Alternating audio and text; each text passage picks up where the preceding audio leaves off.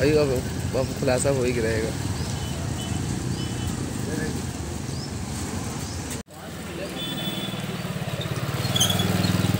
रिश्तेदार है हाँ।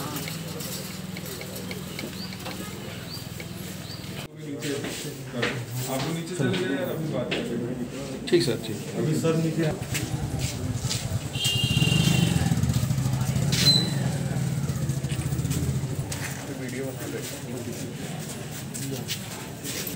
आज सुबह करीब सात बजे थाना नैनी पर ये सूचना प्राप्त हुई थी कि एक व्यक्ति बनारसी लाल वर्मा, उनके सिर में किसी व्यक्ति ने गोली मार दी है।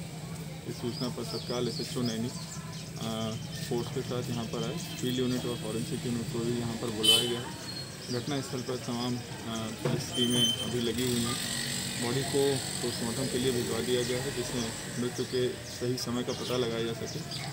अभी तक की प्रारंभिक पूछताछ में ये बात आई है कि ये बनारसी लाल जी अपने घर में अकेले रहते थे, उनकी पत्नी का स्वर्गवास कुछ दिनों पहले ही हुआ है, और इनके बेटे बहू मिर्ज़ापुर से इनके पास आते जाते रहते थे। घर में किसी प्रकार की प्रॉपर्टी ऑफेंस की बात नहीं सामने आई जो कोई सामान भी ऐसा अस्त व्यस्त नहीं मिला है।